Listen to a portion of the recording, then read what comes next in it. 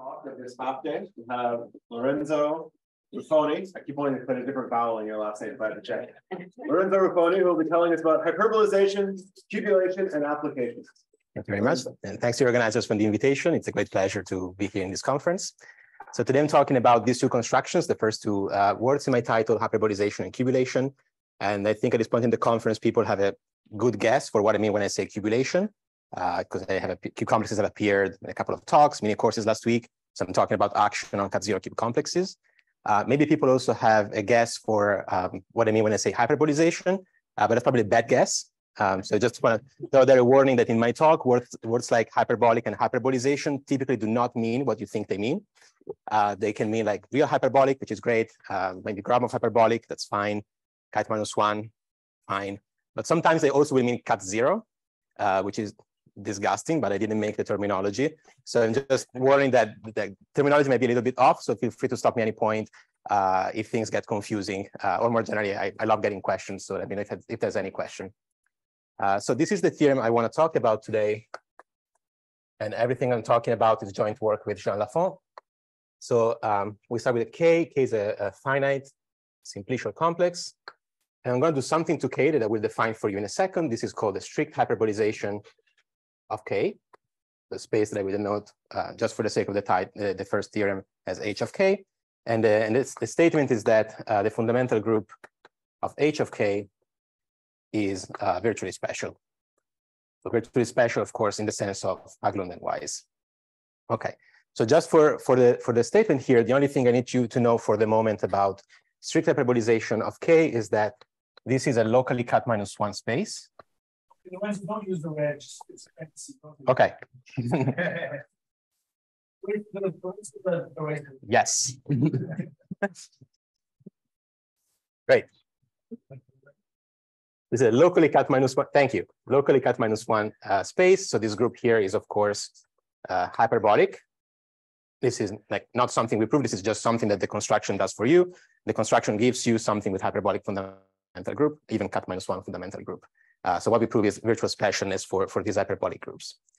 Um, okay, let me put the statement in the statement into context for you before we go into, uh, into details. Uh, so the first thing I want to say is this warning that K is not the same thing as H of K. So here I'm using hyperbolization, not in the sense of low-dimensional geometry. This hyperbolization is not like a uniformization of a given surface. It's not a, a hyperbolization of a three-manifold. I'm not putting a hyperbolic structure on a given topological input. I'm drastically changing the topological input K into something uh, new. And actually, this construction has been used in the literature to construct things that have some kind of weird, uh, weird geometry. Uh, weird to be defined at some point in the talk, uh, but for the moment, it means it's not something that you get from 9 to 11 on a Wednesday morning. It's not like real hyperbolic, complex hyperbolic, not that kind of hyperbolic geometry. So these are procedures that are used to create something that's different from, from things you get from Lie theory, essentially. Okay, so it's the, that's, the, that's the first thing. And, and uh, as geometric group theorists, if you have something that creates negatively curved things that are weird, you might want to ask, well, is this something you can use to construct non-residually finite hyperbolic groups? Uh, this is saying no in a very strong sense. Okay, so virtually special, even if you don't think about that very much, you've heard several times this week that this implies that these groups are subgroups of some SLNZ, and therefore they are in particular residually finite. Okay, so no, no, no, no, no interesting groups from from that perspective. All these groups are residually finite. Um, so yeah, one point of view of the talk uh, is these are interesting uh, subgroups of SLNZ with some geometry, just to fit in the theme of the of the of the workshop. Did I destroy something? No. Okay. Um, the second thing I wanted to say in terms of context is that uh, here I, I, told you I'm changing the topology of K very much when I'm doing this operation, but I'm sending manifolds to manifolds. So if you give me a manifold, the construction will give you a manifold.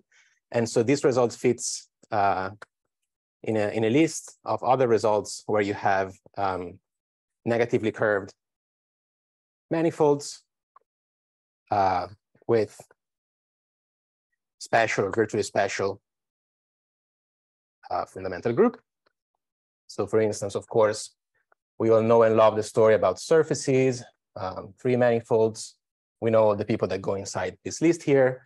Uh, uh, more generally, um, more in higher dimension, things like arithmetic lattices of simplest type. So these are the ones that you construct from quadratic forms on number field. Uh, in the isometry group of the real hyperbolic space, these are virtually special. This is a result of Haglund and Wise in 2012. Um, and then some less um, maybe known uh, results. So I want to advertise maybe these results about Gromov Thurston manifolds. So these are uh, manifolds that are negatively curved. They have Riemannian metrics of negative curvature. Uh, they obtain as branch covers of certain real hyperbolic manifolds, but they probably do not have real hyperbolic structures, so like exotic negative curvature. Bergeron. Bergeron, yes. Thanks. Um, so these maybe were among the first examples of negatively curved manifolds that are not real hyperbolic, and Giralt proved that uh, their fundamental groups are also uh, virtually special. This is in 17. Um, and then I also want to mention this result of the recent paper by Avramidi, Okun, and Schreve from this year. Uh, Kevin is in the audience. Uh, they use some construction that is very much related to the circular hyperbolization we talked about to get manifolds that also have virtually special fundamental group. And they actually use that to construct examples manifolds that do not fiber in the, in dimension five or seven. Okay, so that's kind of the, the context for, for this result. Um, that's going to be my outline for today. That's what the numbers are supposed to represent. And so I'm going to start by talking about hyperbolization procedures. And I want to assume that people know what that is. So I'm going to give you some definitions and examples for that. And then I, I will try to tell you some applications, some classical applications of these procedures, essentially what this weird geometry here stands for, what kind of weirdness can you realize with hyperbolization.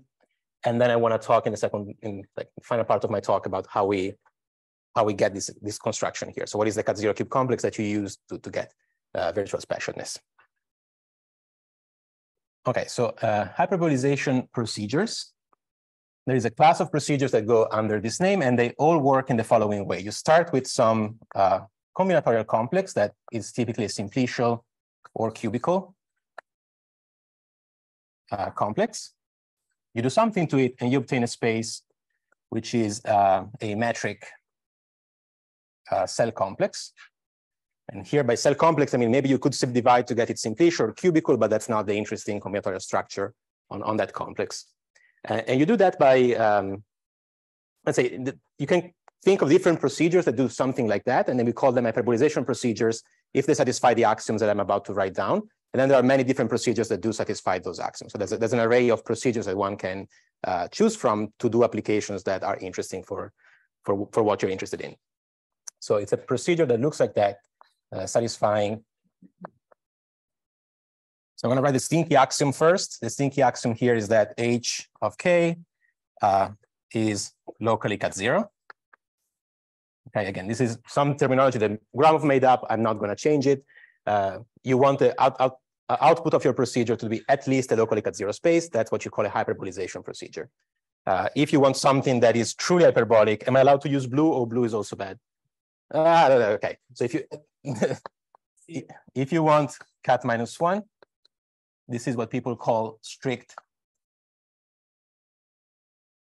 a strict hyperbolization procedure. So I guess it's a French-friendly kind of um, mathematics. Like if you want things to be negative, you need to say strictly, uh, strictly negative. Uh, okay, so that's the first requirement. Uh, the second requirement is that you want some sort of consistency um, in your construction. So here, if I'm saying that I want a cubicle, so simplicial complex, it, that's something that comes with subcomplexes. It's not just a topological space. It comes with a combinatorial structure. So if I have a subcomplex of my complex, then I want the hyperbolization of my subcomplex to be uh, inside the hyperbolization of my complex as a, as a subspace. So there should be consistency on low dimensional skeleta, for instance. Many procedures are defined by induction on, on, the, on the lower dimensional skeleta. Uh, third axiom is that you want some something nice happening at the local level.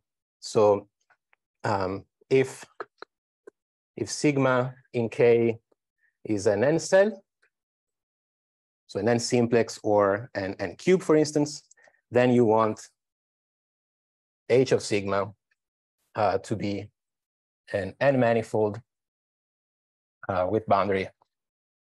And so that's that's the main thing to think about when you're thinking hyperbolization procedure. You're turning cells in your complex into certain manifolds with boundary. And what manifold with boundary you choose is going to define the procedure for you.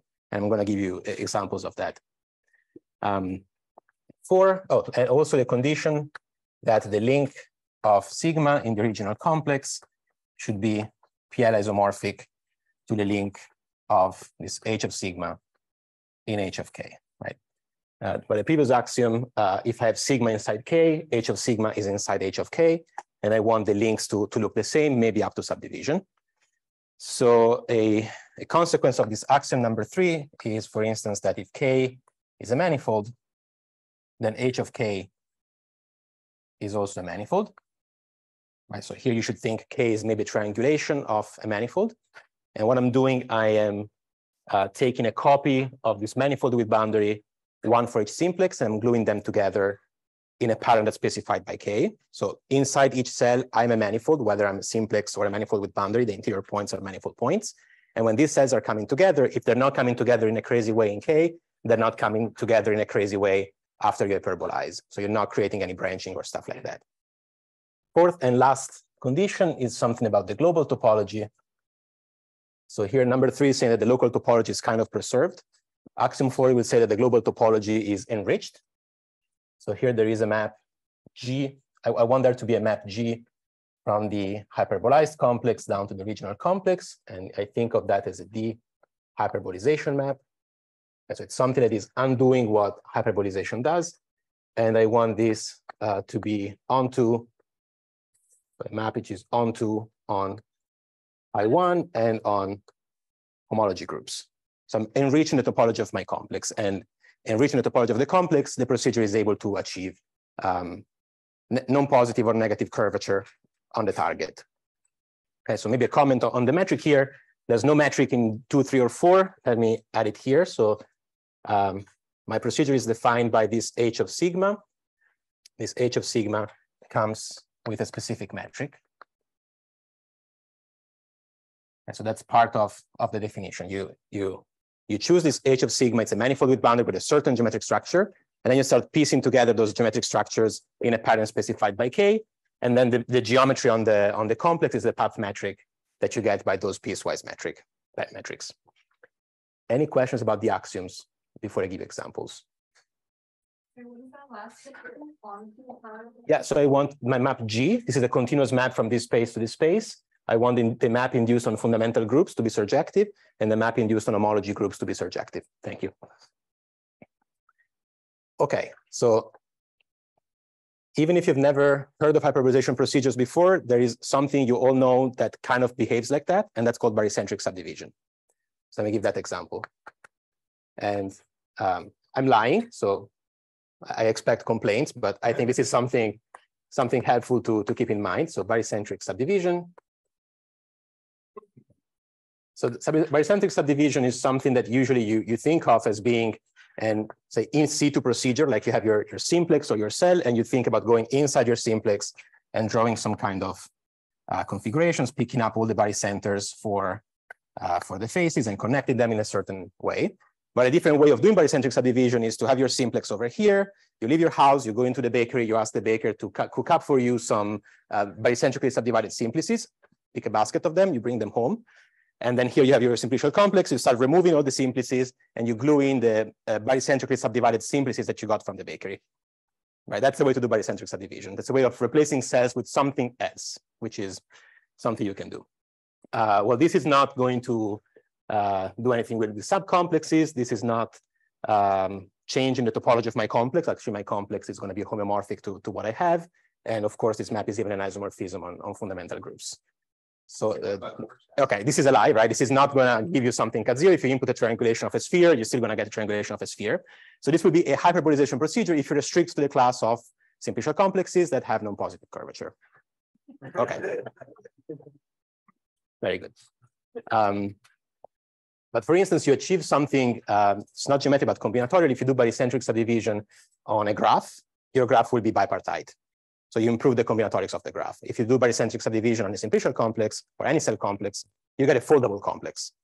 That's a complex that has a map down to a standard uh, simplex by labeling the cells uh, with the dimension. Okay, so you improve somehow the, the combinatorics of the complex. Okay, not a great example. Let's move on to another one. This is called Gromov's uh, cylinder construction.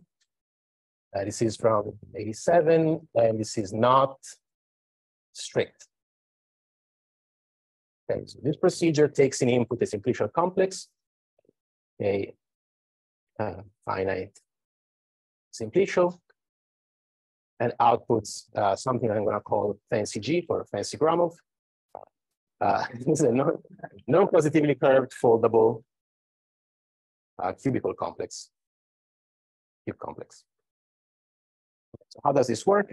Uh, this procedure is defined inductively on cells. So on vertices, I'm not going to do anything. On edges, I'm going to do barycentric subdivision, right? And then I'm going to tell you what to do in dimension two.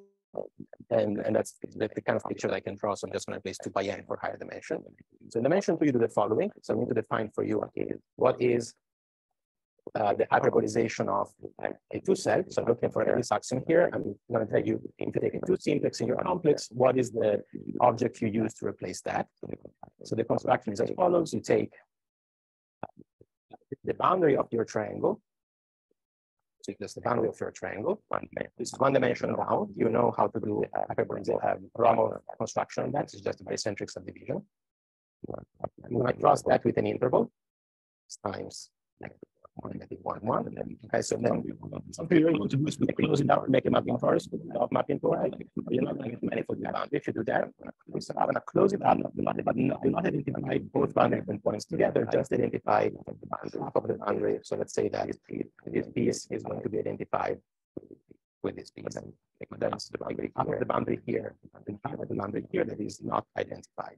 Particularly here, particularly here, if you were doing mapping torus, you would get it's torus in this case, but um, but um, this is essentially what you would have in mapping torus, and then you got the you got the you got the wedge uh, along the half along color of the fiber your torus, your torus, in everything, in everything, half the wedge, half the wedge, and half of the fiber the boundary here, the boundary here, the boundary here, the boundary here is in actually the as the boundary of the standard of the standard to see. Logically, logically, this is the one, the bound boundary, bound one, boundary component, one boundary component, and the structure that is derived of these boundaries. It makes sense for me, makes sense for me, something like a triangulation is here, it's not a sphere, and start replacing coordinates in coordinates with copies, with copies of this angle. In topology, in topology, every single every single space the standard picture for that picture that you're happy with the proceed. Any question? Any question on the dimensional one? Yes. Yes. This one is not. So one of the structures you get here, you get here, subdivided, subdivided.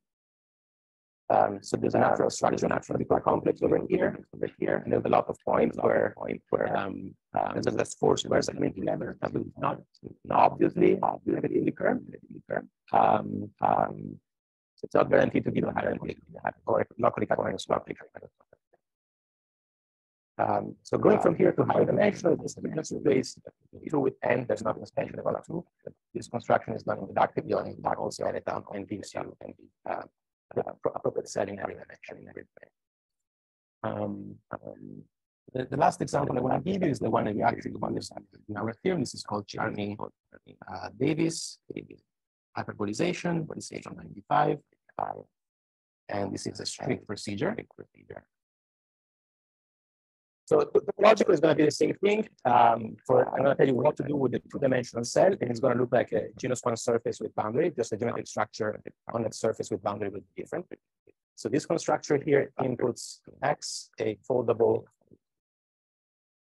non-positively curved complex, and outputs x sub gamma. Uh, this is a locally, cat minus one, one and piecewise uh, real hyperbolic uh, complex. Sorry for all the abbreviations. Locally cat minus one, piecewise real hyperbolic uh, complex. Uh, if you don't know how to hook up foldable non-positively curved cubical complexes, just take your favorite simplicial complex and hit that with the fancy G construction. that will give you a complex that you can then input into that hyperbolization procedure. So here the um, the hyperbolization for a square. So square two is my notation for the square. Um, so what is the hyperbolization of that? Is the, the following surface with boundary that you can obtain in the following way. You start with a surface of genus two. Um, I'm going to use some colors, but I'm not writing. I'm just marking edges. Uh, suppose you can cook up a surface of genus 2 with a hyperbolic metric that has two orthogonal geodesics. So these are simple closed geodesics, and they meet at one point uh, orthogonally.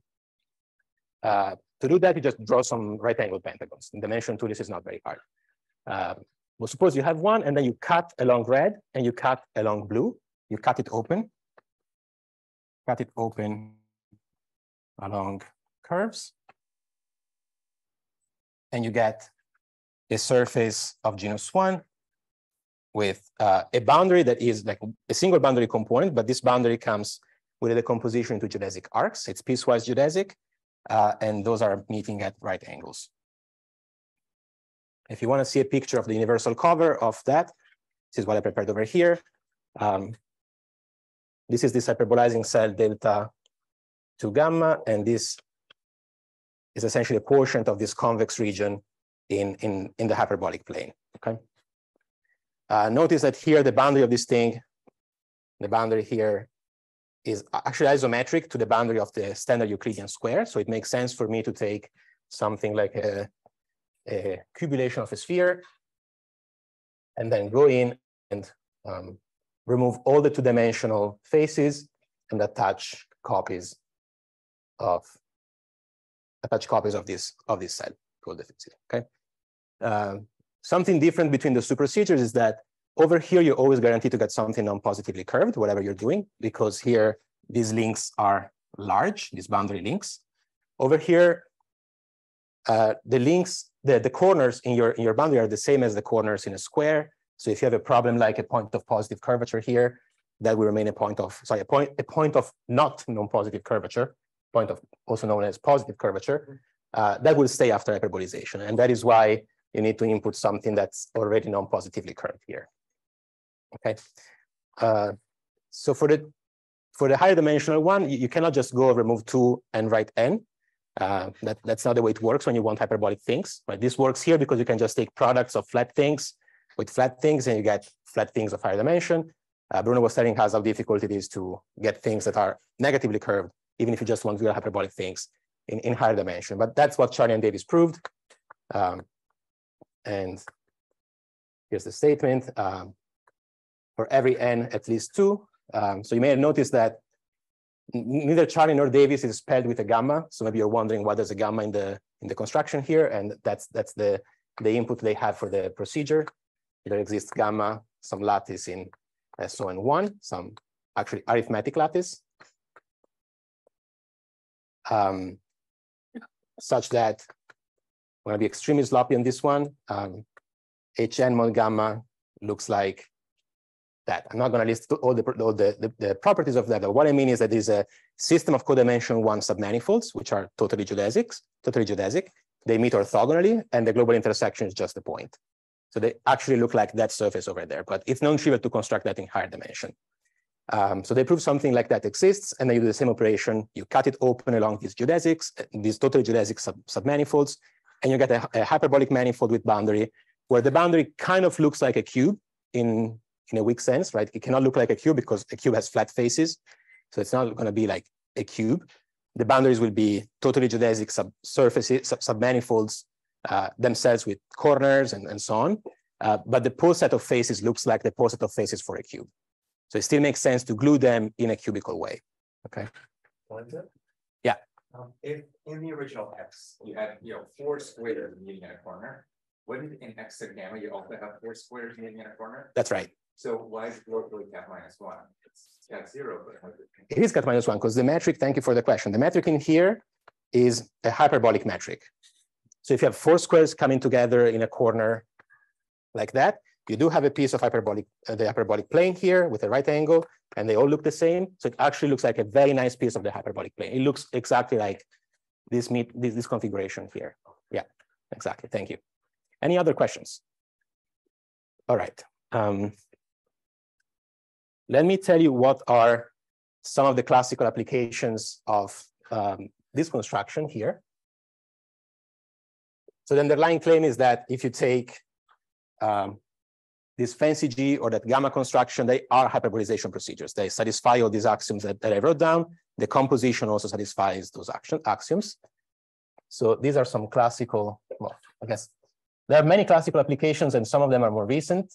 So uh, I don't want to call all of them classical, but applications of this procedure where you start with some complex, um, you hit that with the Gromov construction, and then you hyperbolize that with the Charney-Davis construction. All of the following theorems are obtained essentially in this way, starting with a, with a simplicial complex that needs to be cooked up uh, properly. Uh, so the, the most classical one, this is due to Davis and Januszkiewicz from 91, and this is the existence of n negatively curved uh, topological manifold. So here, topological is to emphasize that this is not a Riemannian uh, metric. Uh, negatively curved topological manifold such that um, n tilde is not homeomorphic to uh, the Euclidean space. Right? This would not happen if the manifold was a Riemannian manifold of negative curvature. And, and you can even go crazier here. You can get something where the universal cover is Euclidean space, but the boundary infinity is not a sphere. You can even get those uh, trees of manifolds and spaces that Chris was talking about yesterday, like weird uh, hyperbolic of boundaries at infinity. So there, there are variations of, of this. Um, two, this is a result of uh, uh, from 2020. And the statement here is that for any n at least four, and for every epsilon, um, there is a manifold n, which is a closed, closed and Riemannian manifold, such that one, uh, the curvature of n is in negative one, negative epsilon, negative one. And notice the quantifier in front of epsilon here. It's a universal quantifier. So this means that you can take these manifolds to be as close as you possibly can desire to be constant curvature negative one. So if you if I ask you to make an example of that, this would be like a real hyperbolic manifold does that. Okay, great. But the second part of the statement is that this manifold n is not um, real hyperbolic. Actually, is not more generally any locally symmetric. Uh, there's a real complex or quaternionic hyperbolic. These are not um, these are not Kähler manifolds, and these are not these Gromov-Thurston manifolds that I was talking about at the very beginning. So closed Riemannian manifolds of Riemannian negative curvature, which are not obtained by any other method previously uh, known. So how do you distinguish them from both systems? Uh, Pontryagin class. Uh, you can get these things we have. So you, you start with K triangulation of CPN as non-trivial classes. This procedure preserves the Pontryagin classes. So um, Thurston and real hyperbolic have vanishing Pontryagin classes. That's what you use. And so this statement here is talking about manifolds that have some sort of negative curvature, but don't look real hyperbolic in, in a strong sense, like nothing that looks, nothing that feels like a generalization of relative hyperbolic in the con con context of Riemannian geometry. Uh, also, I put down this, this result. This is a result of mine from last year. For any n at least five, there is a manifold. This is closed and smooth. Um, and here the condition is that I1 of n is hyperbolic, and I mean Gromov hyperbolic here. There's no, there's no negatively curved metric on the manifolds here.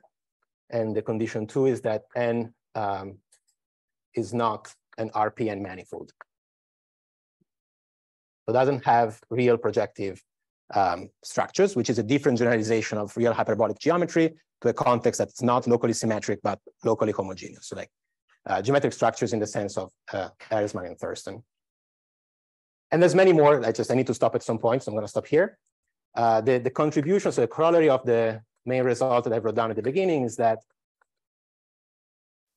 uh, in all of the above, in all of the above, uh, uh, you can take the fundamental group of these manifolds to be special. So in particular, residually finite.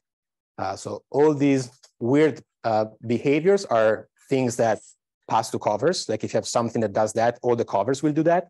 So this gives you a lot of manifolds with those with those problems.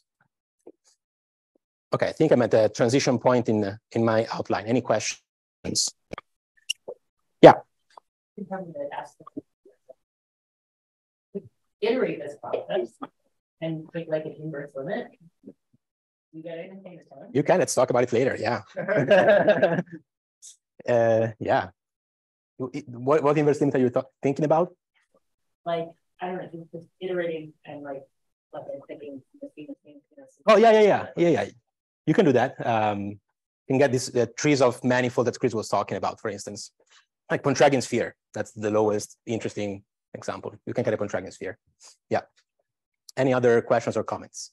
I guess I'm wondering about, you know, example number one, especially in the special, you know, the special component. I mean, how nasty is this? This one, the easiest one, you, you start with um, uh, the Poincare sphere. You take a double suspension of that. So that happens to be S5, topologically S5, but the triangulation is nasty. And the nastiness of the triangulation is something that, like, the links are nasty. So when you do hyperbolization, those links remain nasty. And so when you, uh, the, the Gromov boundary is essentially an inverse limit of uh, visual spheres. And every time you hit those nasty links, you're picking up some nastiness. And that's what propagates out to infinity. How nasty was the answer? okay, good, great. All right, so let me go back from part three to part two, three, I lost track, cubulation. So here I wanna I wanna tell you more precisely what are the assumptions and the statements and the techniques in, uh, that we use in our theorem. So let me make the following standing assumption star. Uh, from now on, X is uh, compact, uh, non-positively curved, foldable. And again, if you don't know how to make that, take your favorite simplicial complex, apply Gromov's construction, uh, cube complex. Um, and I'm also going to assume that the complex is homogeneous with no boundaries. So homogeneous, also known as pure, I mean that every cube is contained in an n-dimensional cube and n is uniform all over the place. So like a manifold, a pseudo-manifold, an amalgam of manifolds and pseudo-manifolds does that. No boundary, I don't want free faces. I think none of these conditions are very essential, but let me just let me just have them. Okay, so um, I want to, uh, so I have, I have this hyperbolization procedure that takes x to x gamma, my locally cat minus one um, space, which is something like that, um, attaching all these hyperbolic manifolds with boundary to each other in the way specified by x. And I want to show that the fundamental group of this object acts on some cat zero cube complex. And ideally, the, the action should be nice, so you can trigger some results and get specialness from there. So maybe let's start with a very naive guess, just to make sure that we're not missing things.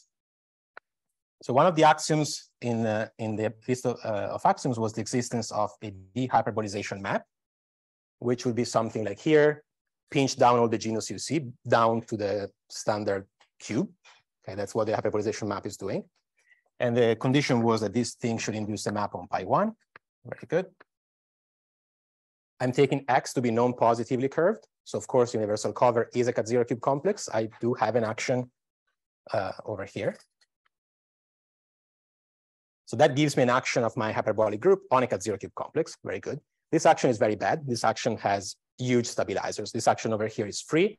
So everything in the kernel of this map will be in the point stabilizers. And it's like a chunky, normal, non-quasi-convex subgroup that not nice. Ideally, I'm trying to achieve properness of the action. And this is like as far as possible from being a proper action. So let's do something different. So instead, look at x gamma tilde. Now, this is not a cat zero cube complex because x gamma is not a cube complex.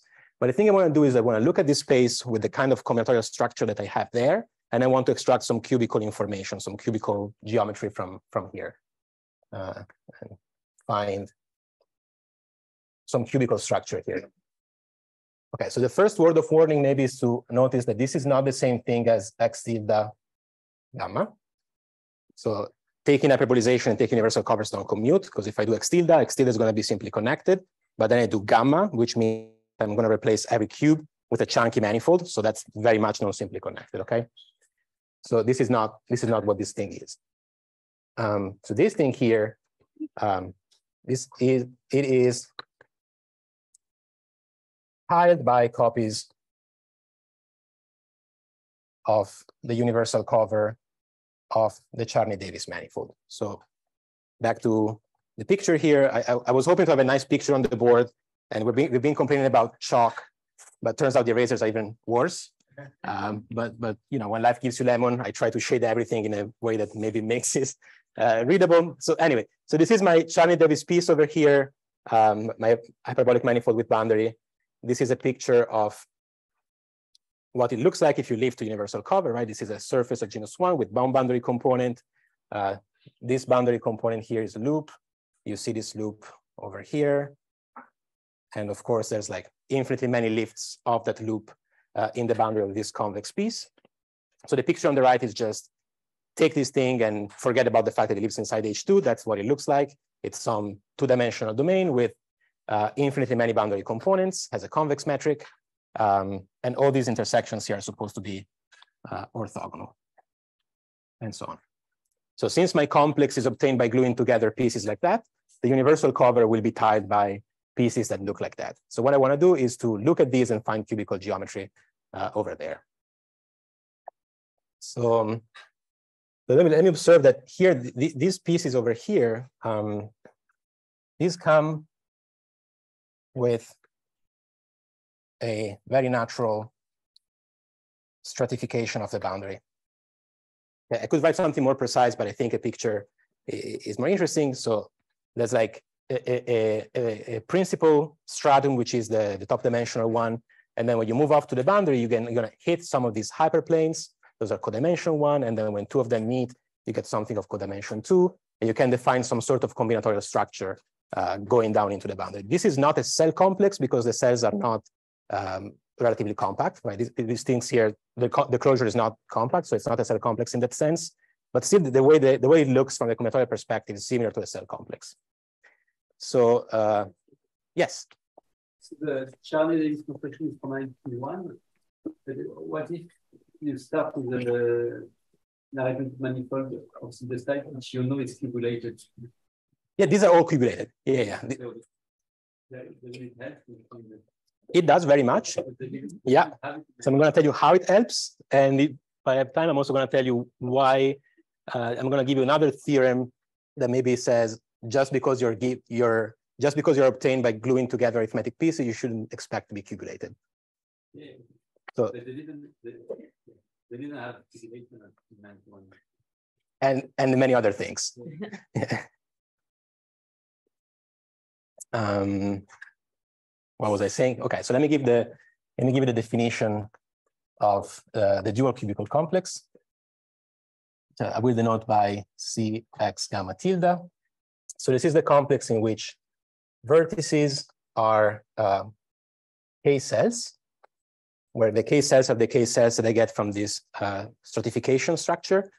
So for instance, the thing that I shaded with the eraser, this would be a two cell. Uh, things on the boundary here, this red piece uh, between those two intersections, this would be a one cell. Uh, and then th these points would be zero cells. So those are the cells that I'm picking up. And I'm taking a vertex for each of them. So here there's a vertex corresponding to the two cell. Here there's a vertex corresponding to the one cell. Here there's a vertex corresponding to the zero cell and another vertex corresponding to this other zero cell and so on all over the complex. Edges are codimension one inclusions. So for instance, here, this red cell is included inside the two cell with codimension one. So I'm taking this edge. The zero cell uh, is inside the one cell with codimension one. I'm taking this cell. Uh, the zero cell is not contained in the two cell with codimension one. So I'm not taking that edge. But for instance, I'm taking this blue one cell is included with codimension one. So I'm taking that cell. Okay? It's, it's kind of a dual um, dual complex where I'm picking up only the codimension one uh, inclusions. And then cubes, uh, cubes as usual, which means that whenever you see a cube, uh, you're going to glue in that cube. Like here, I see the one skeleton of a, of a two-dimensional cube. I'm going to fill in with a two-dimensional cube, and the same in all higher dimensions. Okay. Any questions on the definition of the of the complex? Okay. Um, all right. So I can state the theorem now. So just rephrasing the, the initial theorem with all the hypotheses and stuff. So if X is as in star, so satisfying all these assumptions here, then um, one, this complex is uh, cat zero. And two, you have an action of the fundamental group, where the fundamental group acts on a universal cover. And this kind of stratification is invariant under that action. So the dual cubical complex is also invariant under that action. So that's how you get an action on this cubical complex. Um, that looks good. Um, so words of warning here, this complex is not locally finite. That's not locally finite because these cells have infinitely many boundary components. So like here's a one component, here's another component, here's another component.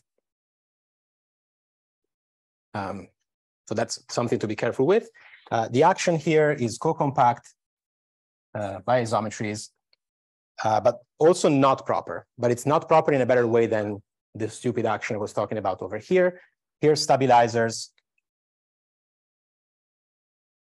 are uh, quasi-convex and virtually special.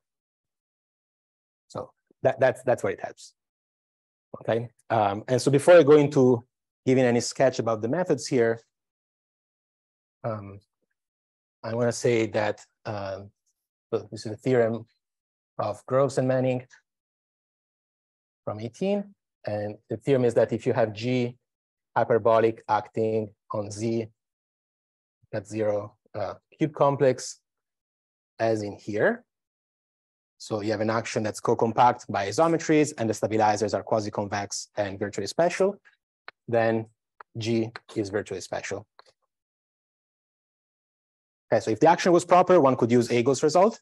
When the action is not proper, if you can control the stabilizers, um, this is a, a, result that does the same, uh, give you the same conclusion.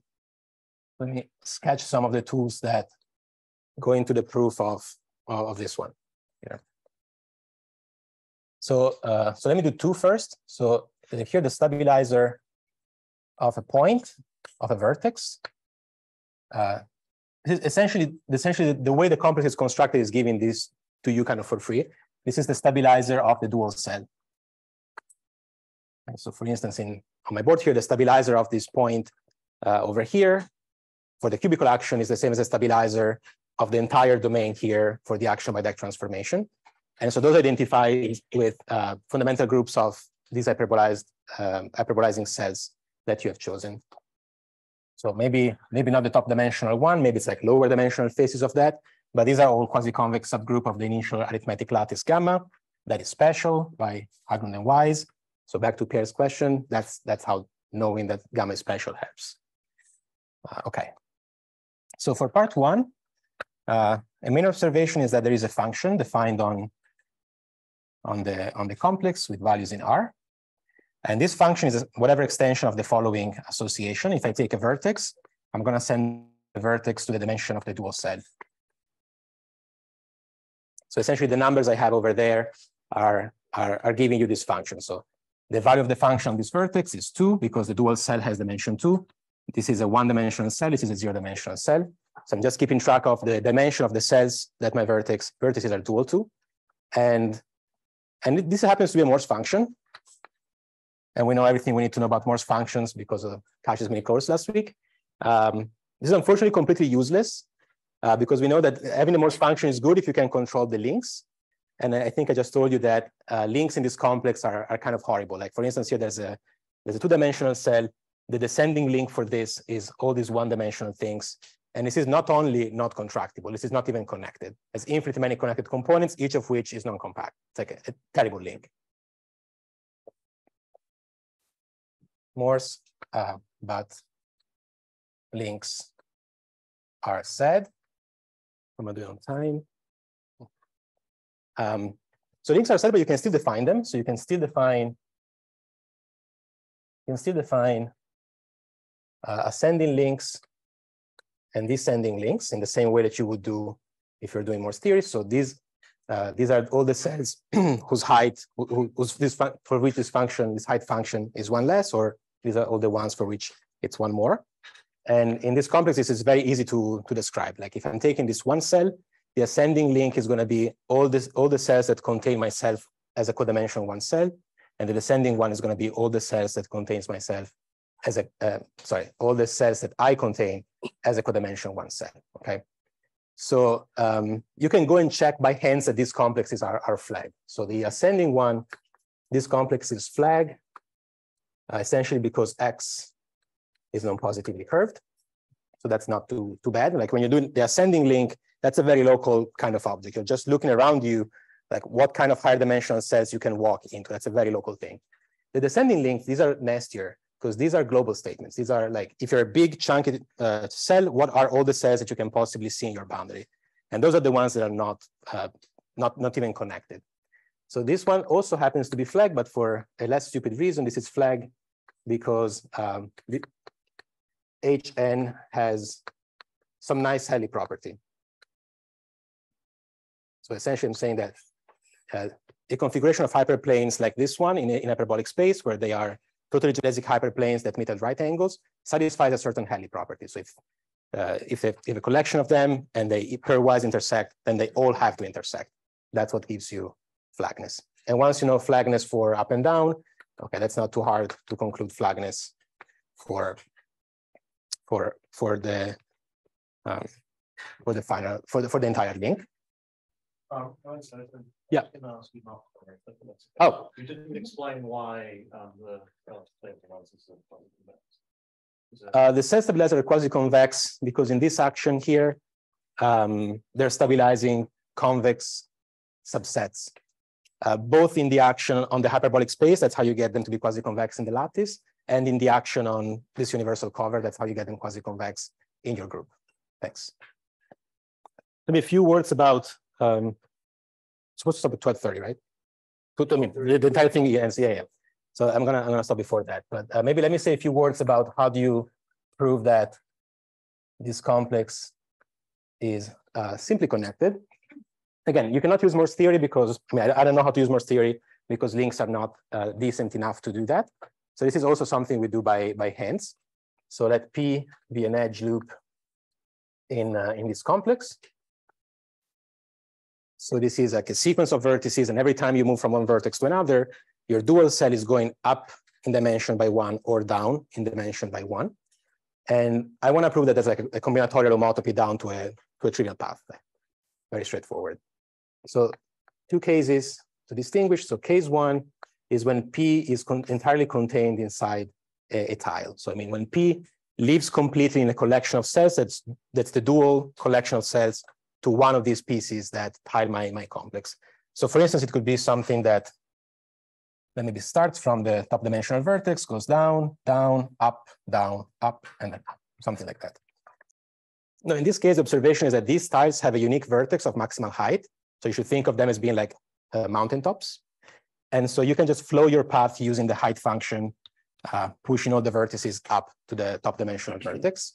So this is an easy case. So use H to push up to the top. Uh, case two is the case in which P is not included in a tile. Um, and that's a tricky one. So here I'm looking at a path that a path that maybe starts from a cell over here, goes up to the top, and then maybe comes down to another cell here and leaves and comes back. So the only thing to do here is to try to cut your path into subpaths, introduce maybe shortcuts, so you can make them small and contain inside other tiles, and then do an induction argument on the length. Um, if you if, if you're leaving the tile, then you can think of maybe using the boundary of the tile to cut your path. So instead of going from here up and continue, maybe you shortcut along the boundary and you do the same thing outside. But the boundary of the tile is very much not convex. So when you're doing that, you are increasing length. So this is kind of fighting against a, method that would uh, go by induction on length. So the, the idea is to, is to cut along nice subspaces of the universal cover and uh, the educated guess is that you should look for hyperplanes. We're trying to do cubical geometry. We would like to have hyperplanes. But all the hyperplanes that were present in X, I destroyed them when I did hyperbolization because I removed all the cubes and I replaced them with hyperbolic manifolds and those don't, don't have obvious hyperplanes. So the idea is to define things that kind of behave like hyperplanes. We call them mirrors. Uh, this is what a mirror looks like. You start with a piece in the bound, the codimension one face in the boundary of, of your tile, and then you do a maximal extension of that thing that keeps it locally convex and locally separating. So that's where foldability comes in as a very important part in the in the assumption, but I don't have time to go into that right now. But those are things that are totally they're locally totally geodesic and go through codimension one faces of of the tile. So you, you define them pretty much in the same way you define hyperplanes. Every time you meet a new cell, I'm telling you how to um, extend past that what that um, every time you meet a new tile, I'm telling you how to extend in the new tile and so on, as you would do for a hyperplane, in a way that keeps it locally convex and locally separating. Now, my universal cover is cat minus one. So something locally convex inside something cat minus one is actually convex. That's great. Um, something locally separating inside something cat zero doesn't have to be separated. That's, that's something strange. Um, so here there's some, some harder work. So it's also true that these mirrors are separating, but this is uh, harder to check because local separation in cat zero doesn't imply global separation. There, again, foldability comes in. Um, but but that, that's the kind of uh, technology that goes into, into it. So you cut along nice subspaces of, of X gamma, these mirrors, uh, plus induction uh, on length, which now works because you've chosen the right type of um, the right type of subspaces. And I think I'm almost out of time, so I'm not going to write down uh, another statement, but I just want to say that we have a relative uh, version of this result. And that's a situation in which we pretty much remanage the same ideas and get an action on a cubical complex. We get an action of a relative hyperbolic group on that cubical complex that is not relatively geometric in the sense that Daniel was describing um, in his talk on Monday. But it turns out that if your action is decent enough, you can talk to Daniel and Jason and ask them, well, can you still get residual finiteness? And most likely they can, and they're going to write an appendix for your paper. So that's a good idea if, if you have something like that. All right. Thank you. Yeah. I have two questions. Yeah. First, what exactly does it mean to be locally separated? Thank you. Locally separating is the most naive definition that you can think of. Uh, it means that for every point, there's an open neighborhood. So it's a subspace Z in a space X is locally separating it for every point on Z. There's an open neighborhood in hex such that uh, U minus Z is not connected. Yeah. Second question. Uh, the, the, the, the hyperbolization on the fundamental group. Do you know anything about the kernel? Uh, it's normal. uh, not not much more than that, depending on what you want to know about it. Maybe we can talk. Yeah, yeah, it's bad. It's like when you where's my picture? Like it's the surface of you know something you can map down to a trivial group, so potentially contains the entire thing, or to a lower genus surface. Yeah. Yeah.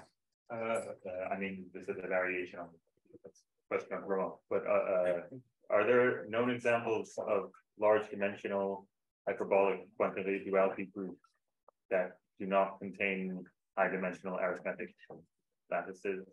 Uh, I do not know that.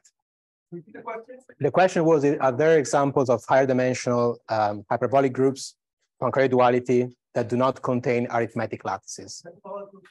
Poincare duality groups.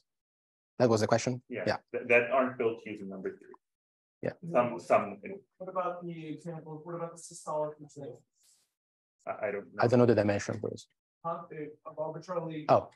They, they have arbitrarily high, uh, philosophical dimensions.